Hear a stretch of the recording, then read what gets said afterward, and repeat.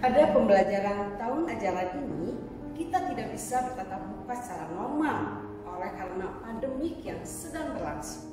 Oleh sebab itu, Sekolah Dasar Kristen Kalang Kudus Unit Seattle memberlakukan sistem pembelajaran jarak jauh yang sering kamu dengar dengan singkatan PJJ. Ini sesuai dengan aturan Dinas Pendidikan dengan menggunakan aplikasi Google Suite, WhatsApp, dan Quizzes. Selama pembelajaran jarak jauh, Bapak dan Ibu guru berkomunikasi dengan orang tua murid dan anak didik melalui WA grup kelas masing-masing. Kita akan menggunakan kelas virtual untuk pembelajaran jarak jauh. Setiap anak yang telah mendapatkan email khusus dari sekolah dapat mengakses ke Google Classroom yang telah disediakan oleh guru kelas. Kita akan bertatap muka melalui Google Meet. Materi pembelajaran singkat telah terlebih dahulu dibuat oleh Bapak Ibu guru pengajar. Bapak Ibu guru akan membagikan link materi pembelajaran yang telah diupload ke media YouTube. Setiap anak melakukan pembelajaran mandiri melalui YouTube yang telah dibagikan. Sistem tatap muka melalui Google Meet berlangsung selama 20 menit.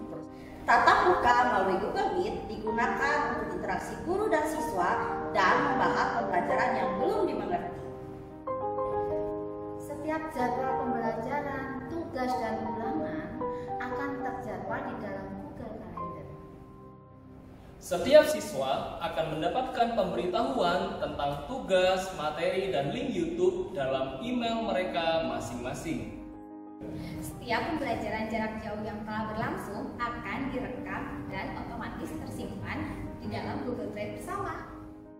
Setiap video yang telah direkam akan diupload ke dalam channel YouTube SDK Kalam Kudus Ciater yang dapat diakses waktu-waktu oleh setiap guru, orang tua, dan siswa untuk pembelajaran selanjutnya. Semua materi pembelajaran dan video pembelajaran tersimpan di dalam Google Drive masing-masing siswa. Sistem tugas dan ulangan menggunakan Google Form dan Quizzes. Nah, anak-anak sekalian, demikianlah tata cara pembelajaran jarak jauh yang akan kalian ikuti selama satu semester ini. Kita berharap nanti semester depan kita akan bisa bertemu bertatap muka dengan guru-guru kalian semua.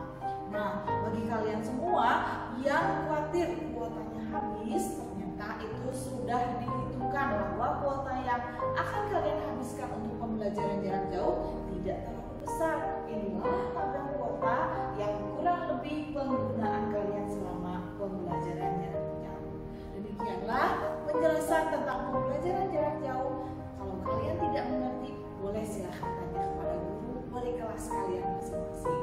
Terima kasih. Tuhan Yesus memberkati kita semua.